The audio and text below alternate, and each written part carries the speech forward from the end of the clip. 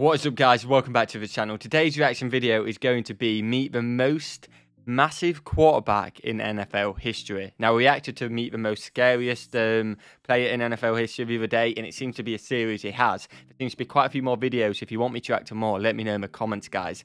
But uh, this is going to be an interesting watch. A short one, 5 minutes 45. Um, and I think hopefully it's going to highlight that, that no matter your appearance, no matter if you have weight or stuff like, you can potentially become a top top athlete. And uh, if you put your dedication in, which I'm assuming he's put his dedication into throwing the ball, getting it pinpoint with his passes, and he has that general ability.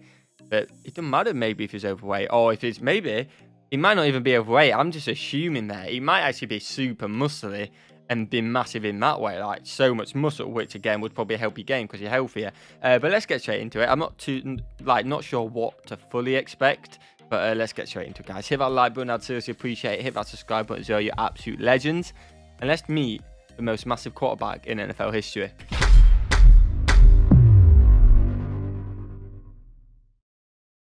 And Rex Grossman is someone they've looked at, apparently. Tyler Thigpen.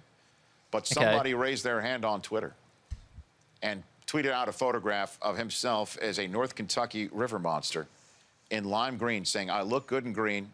And he's also played in the New York uh, football market with the Giants. You're about to witness the man who makes Big Ben look Oh, small. what a move. Go on. I mean, so in my video about David he's got Tyree, moves. here he is jogging off the field after that amazing catch. Well, the first person he runs into is the backup quarterback. That man was Jared Lorenzen, aka the Hefty Lefty. By the way, hefty this lefty. dude is literally the Jackie Moon of indoor football. I'll explain that later. Jared Lorenzen played college ball at the University of Kentucky. He was actually the predecessor to the former number one overall pick, Tim Couch. I tell you what, he's got moves. Oh, a big lad. He's got a few side steps. He's got a few freaking. Oh, see you later, mate. I rate it. End of the day, mate. It's fair play because I am extremely uh, I would actually I wouldn't say extremely, but I'm not overweight. I'm actually probably skinnier than what I should be, but my fitness is all over the place at the moment. And a lot of people with a lot more weight on them than me, um, which potentially people would say they're not as healthy as me, could run a lot further than me at the moment, which is a little embarrassing to me. And I've exposed myself, but uh, since lockdown, I haven't really been doing the fitness too much. Um, so it just goes to show don't judge a book by its cover, because there's a lot of people, potentially him, who can run a lot further than me easier. You know what I mean? It is not always about the appearance. The Hefty Lefty's freshman year, he weighed in at 308 pounds before the season. And wow. the coach wouldn't allow him to play until he was under 268 pounds. He eventually slimmed down, and four years later, he would go on to break a bunch of school passing records. But Yo, it wasn't go enough on. to get the man drafted. He did sign as an undrafted free agent for the New York Giants. When he signed, he was a big dude at the time.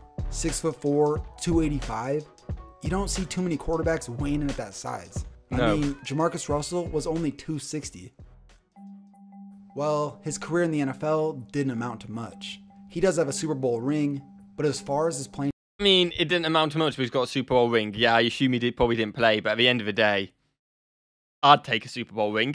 I would happily sit on the bench because even if you're on the bench, you're part of a team. Like fair play, lad, fair play. NFL career, his very first NFL play was a QB sneak on third and one. His second career play, the exact same thing. Oh, wow. He was basically put out there to move the pile, and so Eli Manning wouldn't get hurt.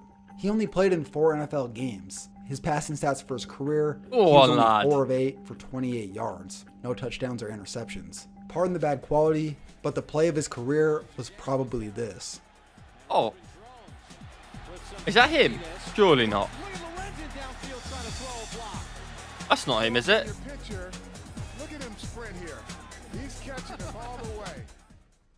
After the Giants won the Super Bowl, I think he was a guy catching up. I was like, he's, he's definitely not the guy in uh, running. I wasn't sure the quality was quite bad, but I think he was the one who caught up.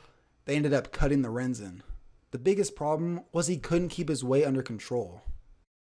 Everybody knows Coach Coughlin. He's kind of stickler about some certain things. Well, I got a funny story. Finally, we get our food at the end of the day. I get, we get ourselves some big old chicken breasts, fried chicken, mashed potatoes. And they got them in bags for us. Well, I pick up my bag and I'm walking back out the locker room, and coach happened to be walking by the same time I was. Grabbed my bag, looked at me, laughed, told me I wasn't allowed to have it. I was too big. Tom oh, Coughlin, that's awful, the man. Giants' coach, had weight limits for every player. That the fine would be $400 a day for every pound they went over. Lorenzen's limit was 292. Weigh-ins were on Friday, so Lorenzen wouldn't eat on Thursday. He would spit in a bottle all day to get rid of water weight. Oh my on god. Friday morning, he would put on five shirts and a hoodie, plus two pairs of shorts and two pairs of sweatpants.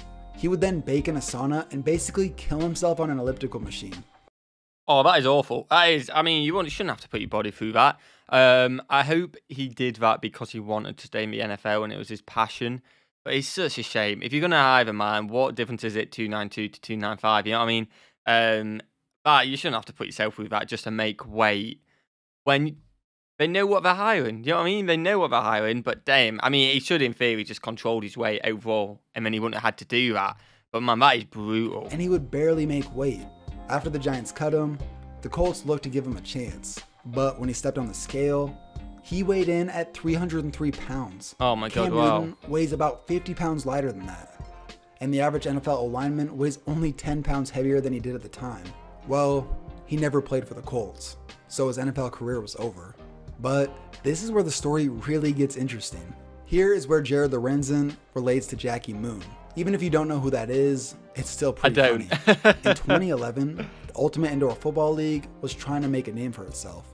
So the dude became a GM of the Northern Kentucky River Monsters. And while he was putting together his team, he was having a hard time finding a quarterback. Well, the GM of the River Monsters would also be suiting up as the team's quarterback. Oh, 14 play. games and 81 touchdowns later, he was named the league MVP. And shortly after this dominant season, he was named commissioner of the league. Oh, that's pretty awesome. Fair play to him. He hasn't given up on his dream and he's gone, yeah, we ain't got a quarterback. I'll give it a go and tore it up. That is awesome. That is great to see, wow. man. Imagine a Roger Goodell, Jerry Jones, Matt Ryan hybrid. I mean, it is only a semi pro league, but it's still pretty crazy. Honestly, that would be a pretty sweet gig. To be honest, the Pillsbury throwboy could move. He was pretty nimble, but on, he got lad. huge after his NFL career. He was listed on the team's roster at 320 pounds. Oh my god. Yet, every single report I read online said he weighed a lot more than that. He apparently hadn't stepped on a scale since he was in the NFL a few years back. Wow. Sadly, later on, the hefty lefty's career would abruptly end after suffering an injury. But his legend lives on as the heaviest quarterback to ever play in the NFL. And he can move, like I said, he can move from size. In them images when he, he's potentially 340 pound, which is mental. Um, still move, you know, he can still move better than a lot of people. So uh, fair play to him, not giving up and just doing what he's passionate about, I guess. Not worrying about his weight, which again some people will moan about, but I'm not here to judge. I'm here to watch and be happy and enjoy it. That's why that's my job, and uh, that's what I'm doing. When he played for the Giants and they played in a stadium he'd never been to, he would take a ball in warm-ups and fire it into the upper deck. He hoped somebody up there would remember him. As a That's college awesome. football Hall of Famer for his accolades at Kentucky, and after going viral for his highlights for the River Monsters, he will definitely be remembered. Yeah.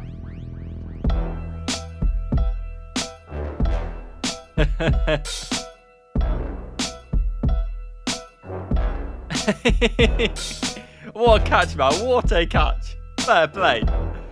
Oh, that is the end of the video. Another great KTO reaction um, video. So if you want to go and check him out, the link will be in the description, guys. I hope you guys have enjoyed this video. I really have. A very light-hearted, funny one. And um, let me know how he's doing today. Has he lost weight or anything like that? It'd be pretty awesome to hear, guys. So please let me know in the comments. Uh, again, I'm not too familiar on him. Let me in the comments. Have a fantastic day, guys. And I will see you in the next one. Peace.